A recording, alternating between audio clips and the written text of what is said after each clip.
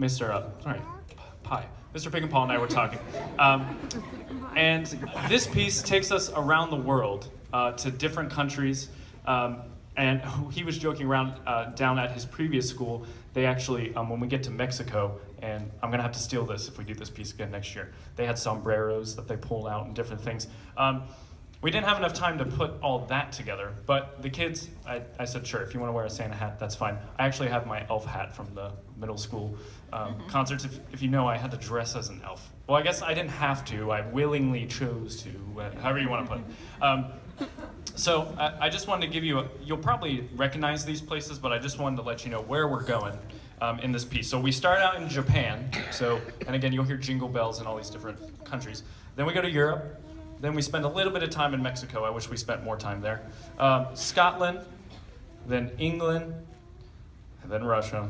But we saved the best for last, USA.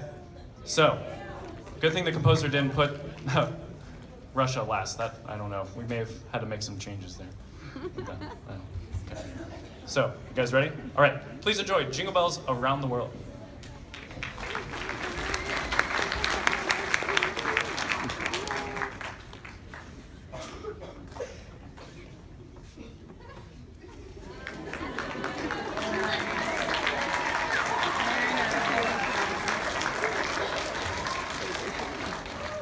I chose to wear.